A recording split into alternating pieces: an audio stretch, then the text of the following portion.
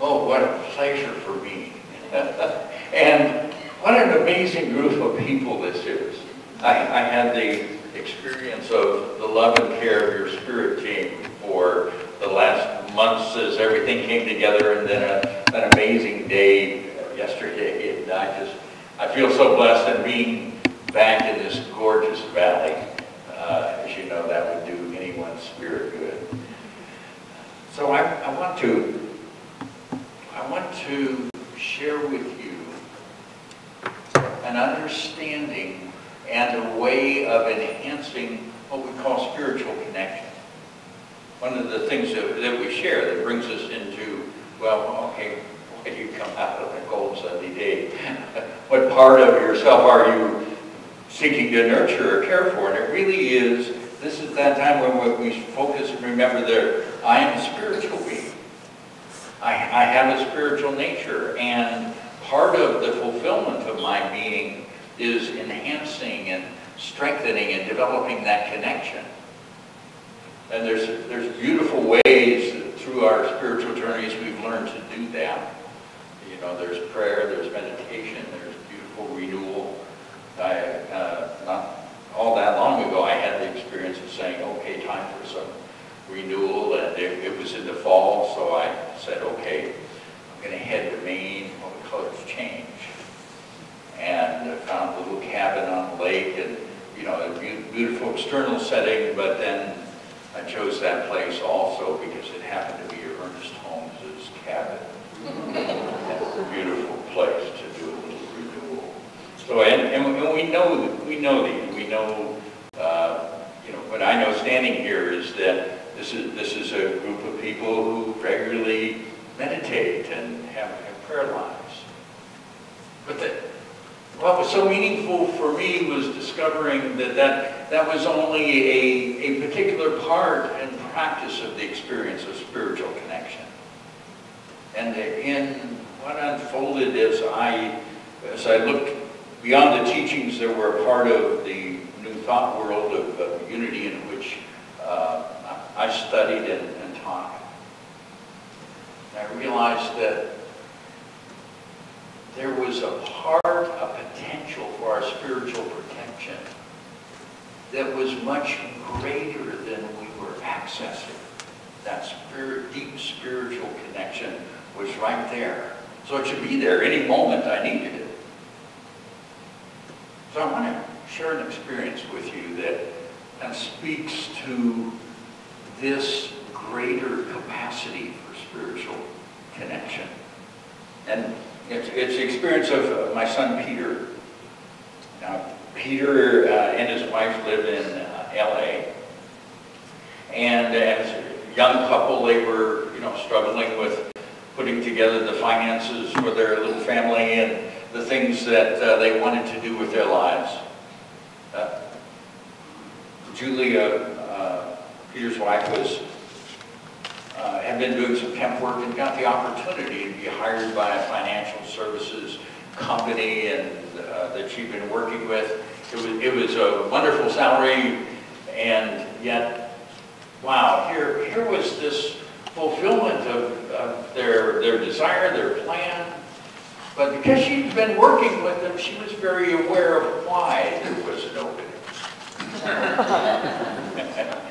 because it was so dysfunctional in that particular department that nobody could stay there. and she's going, do I want to say yes? Do I want to take this? I take the money, but can I, can I handle this? And, and so Julia comes home and she's sharing this with Peter. And, and she, she's really, really worried. You know, she's just caught in this, this turmoil. And what happened for Julia was she, she has some anxiety patterns, and, and the depth of her worry and concern began to stimulate those, and she was feeling more and more upset. Oh, so Peter's there, there with her, and Peter had uh, joined me at sometimes when I was with the Institute of HeartMath. And what there's scientific discovery showed was that by accessing the heart, we can literally stop the worry, the anxiety within a few minutes. And so, and from that place then we connect with a deeper wisdom. And that's what Julie was so needing. She was needing that wisdom. She needed that clear guidance on what to do. And she was caught in this anxiety and stress. And, you know, Peter had this wonderful understanding of how to, how to help her let go of that. Now, this, this was not the first time that uh, Julie had, uh, you know, become worried or upset about something. And, and Peter had, uh, you know, taken those steps as that loving husband is to, to help her uh, take those steps before, you know, and make that change. And Peter had learned that he could be her HeartMath coach or he could be her husband, but he couldn't be both. I see many of the husbands in the room. That's okay. Yeah, we understand. Uh, okay. And so he realized he, he knew how to take away this anxiety, this tension. Uh, he'd studied the science, he had the techniques, he was skilled in it, and he could do a thing. And so as she was upset in his concern for her, he began to, to feel powerless and upset. If you, have you had someone that you really love or care for, and they're, they're in that struggle and you can't help them? But you care so much. So as Peter experiences powerlessness and frustration, he suddenly realized, well, I can't help Julia, but I can help me. so he took a step. Now it's a, it's a step that comes out of the science of uh, the HeartMath Institute. But one of the reasons I spent so many years with the HeartMath Institute was I recognized that may come out of science. But what they're, the connection that it's establishing is pure, direct spiritual connection. So Peter took that step, and the, and the first part of that step was to connect with his heart. Focus on his heart. Because the heart is that doorway through which we connect with the depth of the spiritual self. So he made that connection and then he took the he took the next step which turns on the power that flows to our heart. Now our biophysical part has, part has power to change our body. And so suddenly our body, instead of supporting the emotions with all their hormones and the nervous responses, is, is there in support of entering into the spiritual connection. And so he, he took that step and went through that change. And then, with that sense of spiritual connection made, he could ask how to respond to Julia. and that beautiful spiritual wisdom responded to him. Simply said, ask her if you can hold her. So he, he just says, okay if I hold you? Okay. And he able to just put his arms around her. Hold her in there again a little bit of, you know, and finally that deep sigh. Thank you. And thank you for not saying anything. that was part of the guidance, too. and what, what happens when I s- look at this experience that Peter shared with me is I see the presence of wisdom.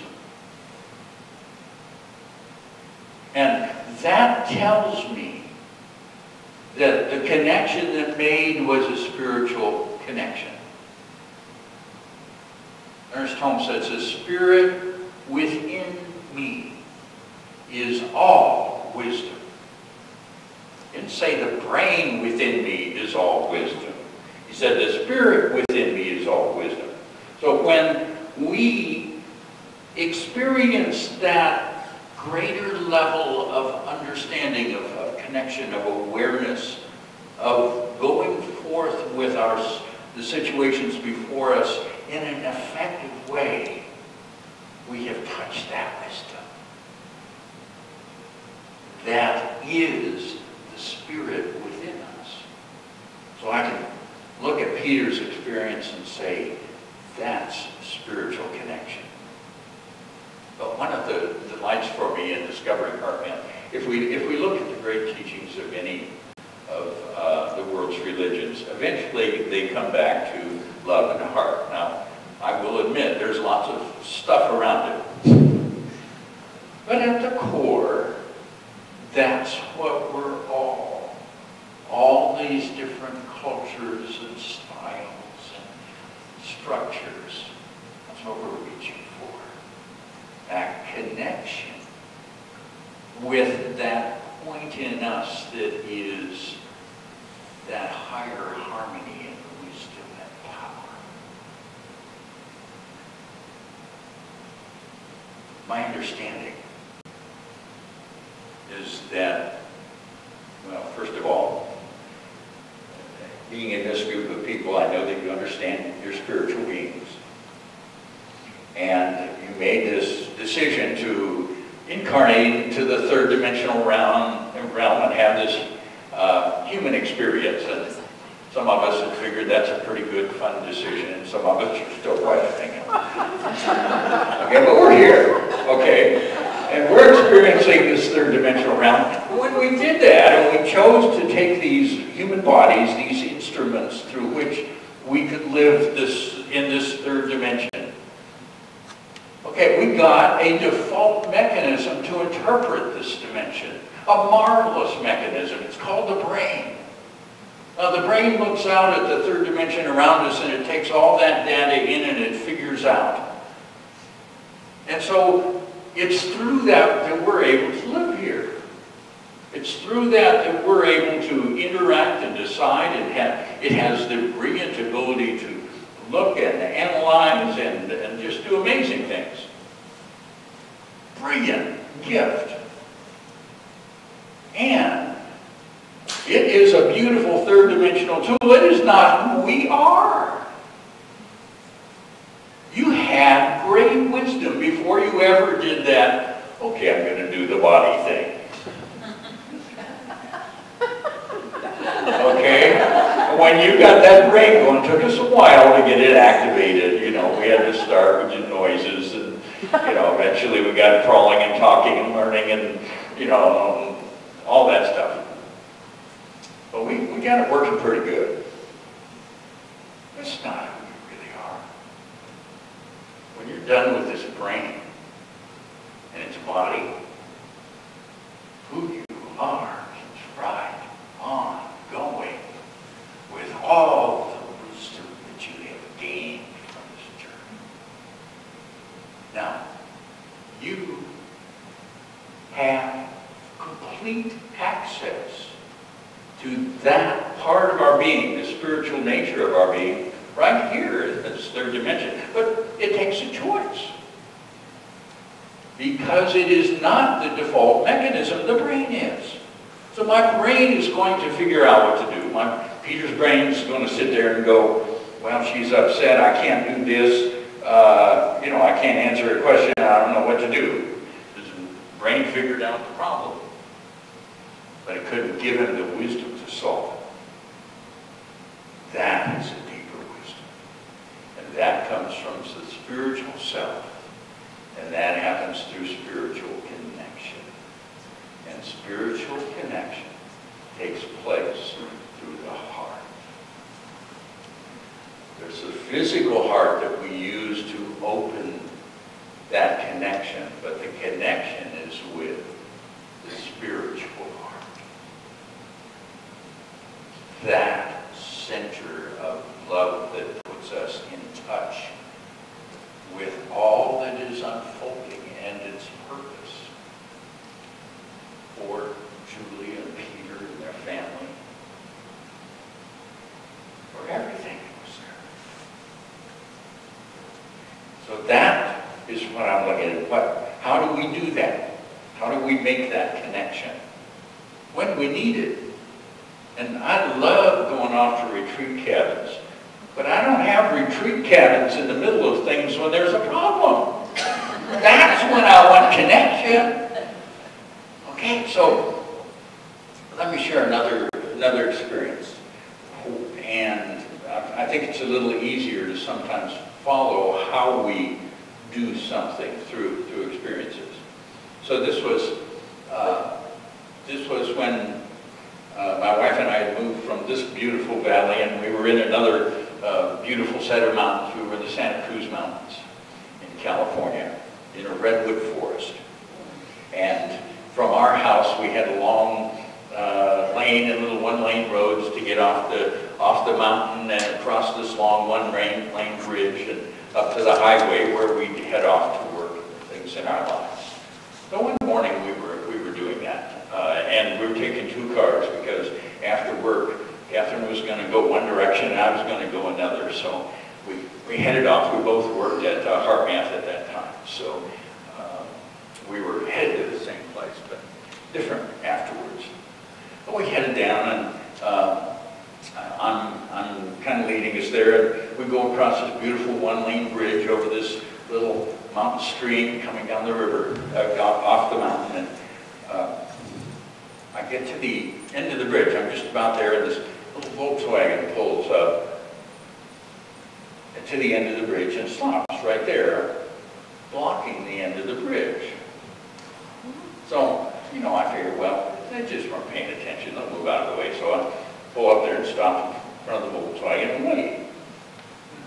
And it just sits there.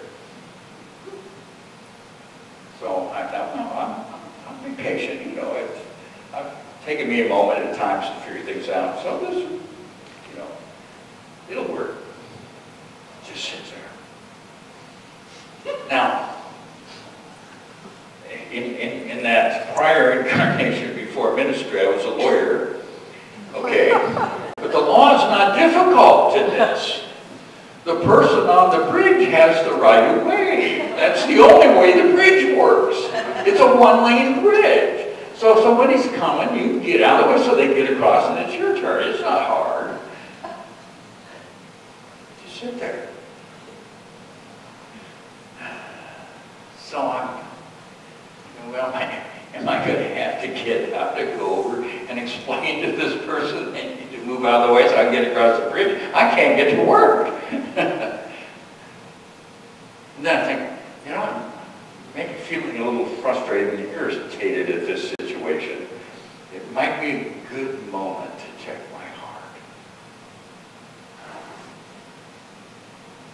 So I take those steps for that spiritual connection.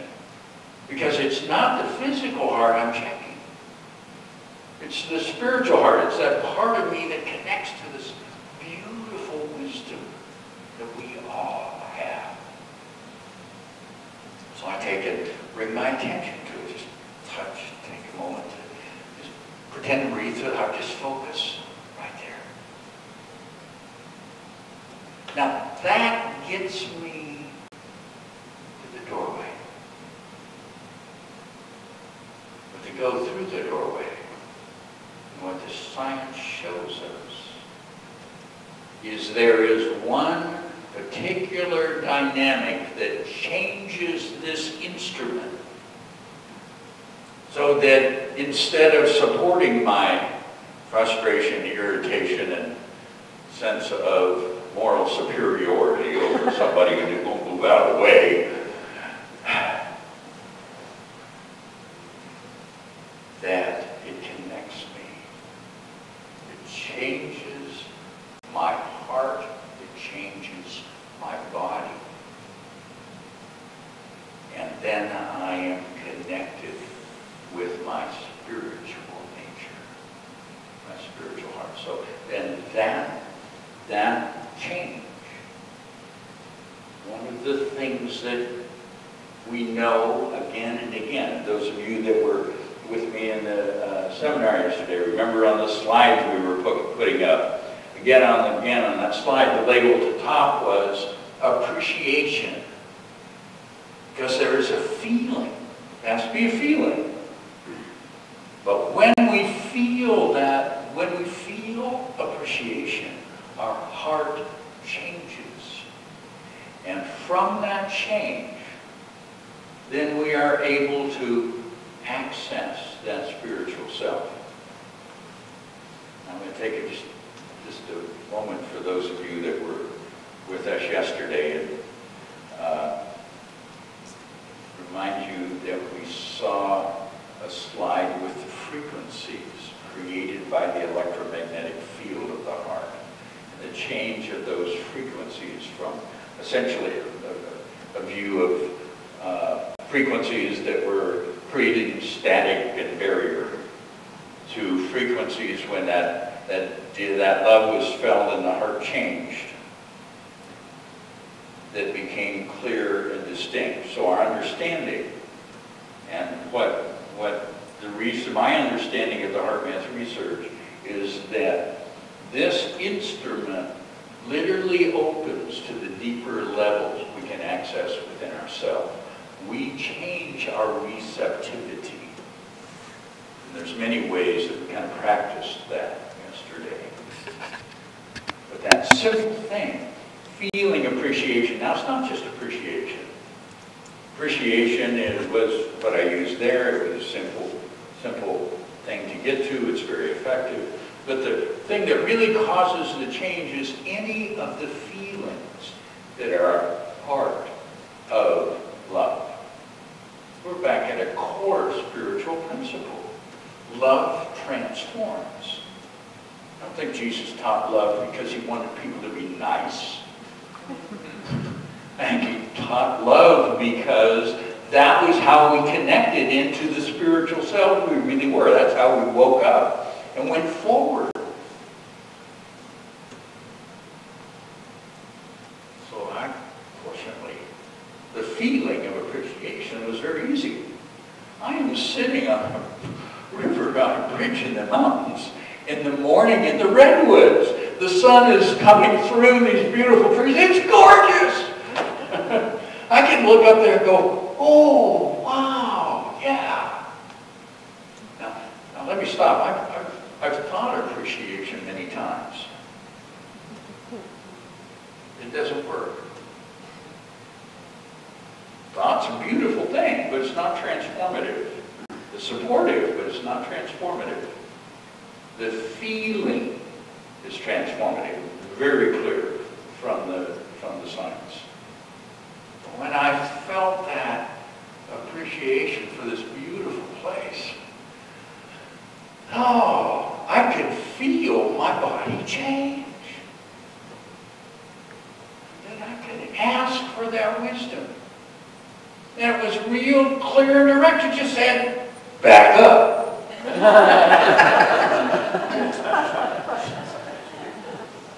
Now, there was a little bit of me kind of wanted to argue with. Back up, you know. It's your wife. Okay, she'll do what you ask. So I turned around and waved and she backed up and I backed up. And took about a minute and a half. The car went by and we were on our way. I had no need in my being to educate someone on the law of courtesy on a bridge. That is not important to who I am. Okay? That minute and a half, I can take. I was on my way. But the change, you know, I love the wisdom. I, I believe Ernest Holmes. When you hit that wisdom, that is your spiritual self-expressing. But that's not all you get.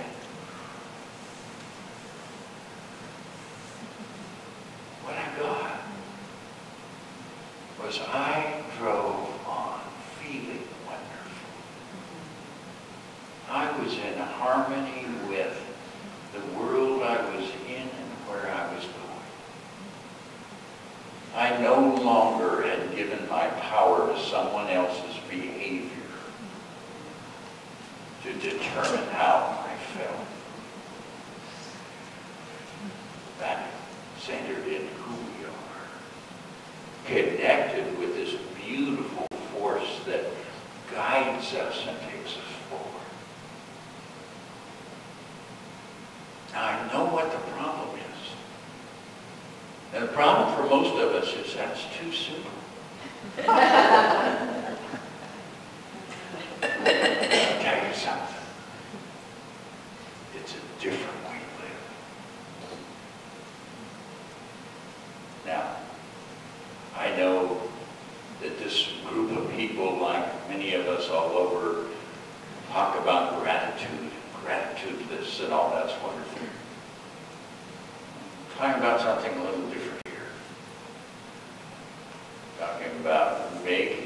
the choice to enter in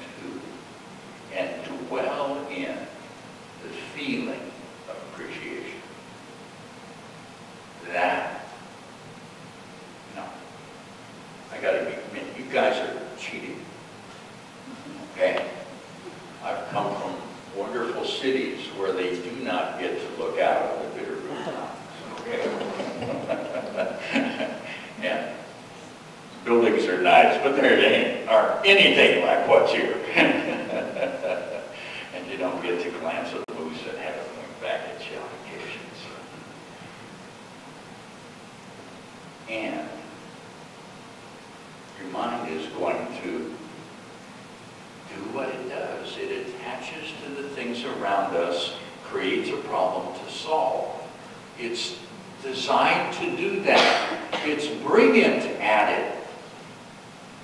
And when it is in control, you are not feeling appreciation. But the amazing thing is, when, if you take that moment to connect, connect with your heart, enter into that feeling of appreciation, your body changes, your mind gets better. Okay, we're, we're heading towards tax season. Look for the account that loves to do it. They're going to be smarter than the one that has to do it. okay. if you owe a lot, be grateful, even if you don't have to pay the it, so?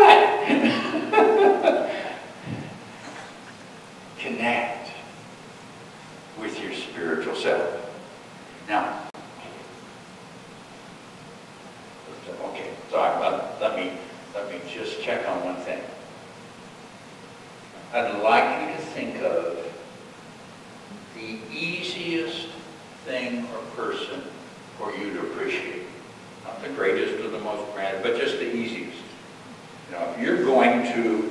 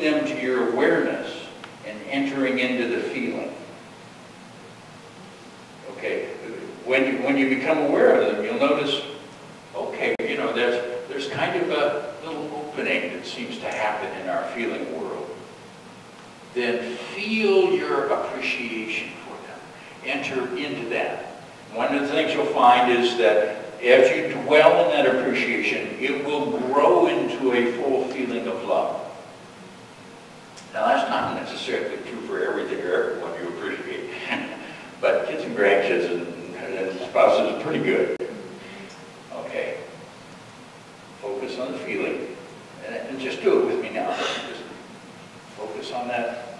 Somebody you appreciate